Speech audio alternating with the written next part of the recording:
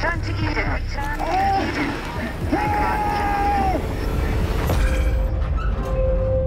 Hell isn't a place you go when you die. Hell is what the East inflicted on us when they pushed the button on day zero.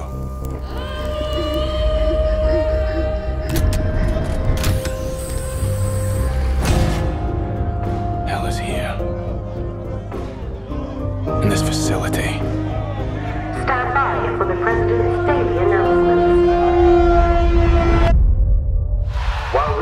Continue to work tirelessly due to food shortages, every citizen will be on three-quarter rations as of today.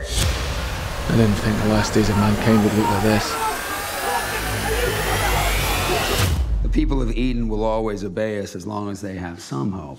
They are hungry and tired of all the lies. That's not enough to galvanize their bravery.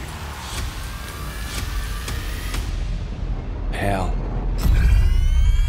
It's placing the hope for humanity on artificial intelligence. Eden needs food. It needs it now. No one is disputing that. But we asked for a machine, one that could reach untapped food stores. And there's a basic problem with the Mark III's ethical makeup. Like all life forms, his consciousness is evolving. I don't want a man. I want a machine. Oh my god, how did he get outside? He's creating his own rules. Isn't this what you wanted? For him to develop organically? I've only seen mankind destroy, never create. I can see no logical reason to preserve their existence.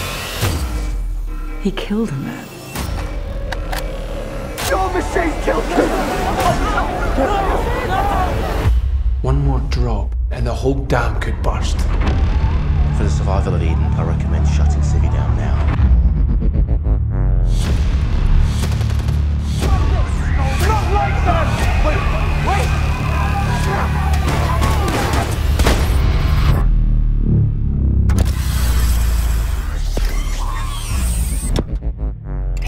Human race has served its purpose.